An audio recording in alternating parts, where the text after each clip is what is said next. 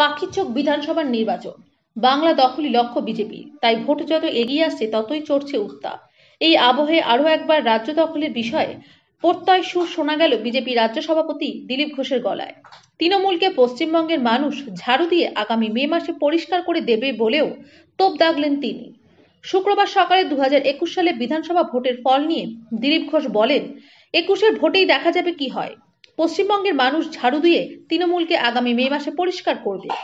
খাদ্যমন্ত্রী জ্যোতিপ্রিয় মল্লিকের গড়ে গেলেও তাকে আক্রমণ করতে ছাড়লেন না বিজেপি রাজ্য সভাপতি। তিনি বলেন, আমার বাক্যবান ওরা হজম করতে পারছে না। সত্য বলার কেউ নেই। পাশাপাশি সিউড়িতে হামলা প্রসঙ্গেও তৃণমূলকে তোপ ডাকেন দিলীপ ঘোষ। তিনি বলেন, যাদের মনটা দূষিত, তারা সব জায়গায় নোংরা দেখেন। বাংলাকে দূষিত করে দিয়েছে তৃণমূল। পশ্চিমবঙ্গের মানুষ ঝাড়ু দিয়ে পরিষ্কার করবে আগামী মে মাসে। দিন কয়েক ধরে বাংলার রাজনীতি বহিরাগত ইস্যুতে সরগরম। বৃহস্পতিবারও নবান্নে সাংবাদিক বৈঠকে বিজেপিকে বহিরাগত বলে তোপ দাগেন মুখ্যমন্ত্রী। এ প্রসঙ্গে তিনি বলেন, এইসব তথ্যের আর কাজ হবে না। বাংলার মানুষ এইসব মেনে নেবে না। শ্রীরামপুরের তৃণমূল সাংসদ কল্যাণ বন্দ্যোপাধ্যায় রাজ্যপালকে ইতিমধ্যেই এক হাত নিয়েছেন। করেছেন মামলা তোলার আর্জিও। আর তারই বিরোধিতায় সরব গেরুয়া শিবির।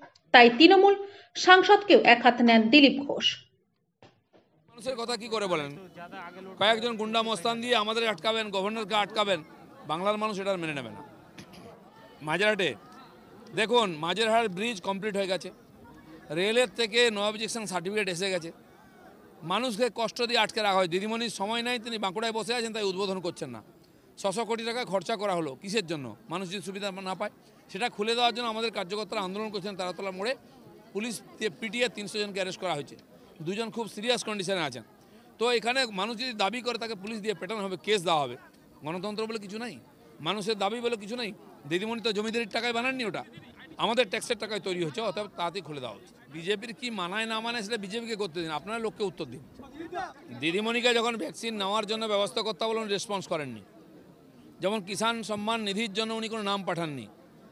এখানে যারা হকার্স আছেন, রাস্তায় ঘুরে ঘুরে বিক্রি করেন, তাদের জন্য মোদিজি দশ হাজার টাকা লোন দিয়েছেন। সারা দেশে পনেরো লক্ষ লোক নিয়েছে পশ্চিমবাংলায় মাত্র ছ, ষাট জনকে দিদিমণি দিয়েছেন। কেন তিনি সহযোগিতা করছেন না? উনি কি উন্নয়ন চান না? মানুষের দুঃখ দূর করতে চান না? খালি রাজনীতি করছেন। এটা সাধারণ মানুষ মানবে না। তো জন্য আমরা এই আইন পাস করেছি। আর মতুয়া সমাজ বিজেপিকে বিশ্বাস করে, সারা পশ্চিমবাংলায় ভোট দিয়েছেন তারা।